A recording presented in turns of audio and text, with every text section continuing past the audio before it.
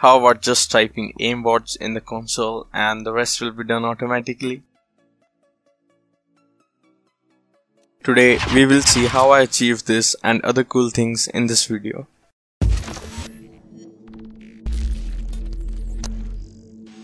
You just have to type alias, give any name and in the inverted commas your console command. In this example I'll type alias aimbotz and inside I will write disconnect to disconnect from any server and then map name and then set it to custom mode.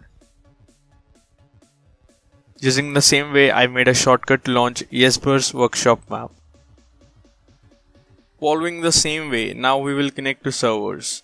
Type alias and give it a name for example FFA and in the inverted commas type disconnect disconnect you from any current server and enter the server IP. Similarly, you can make these commands for other community servers like retake and headshot only deathmatch.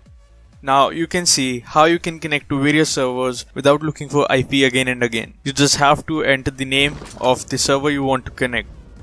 Join a headshot only deathmatch server by typing HSDM.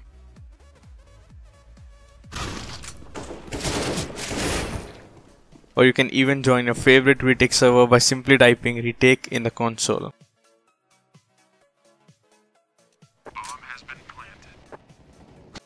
You can also start your own deathmatch server by using the commands gamemode2 and gametype1. Set it to any map, I personally like Dust 2 for deathmatch purpose.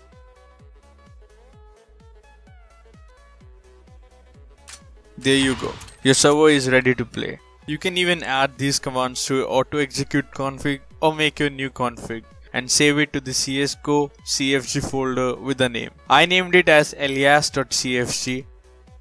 To run it simply go into the game, open the console and type exec and your config name. It will be ready to work. Thank you for watching this video. I'll provide these commands in the description below.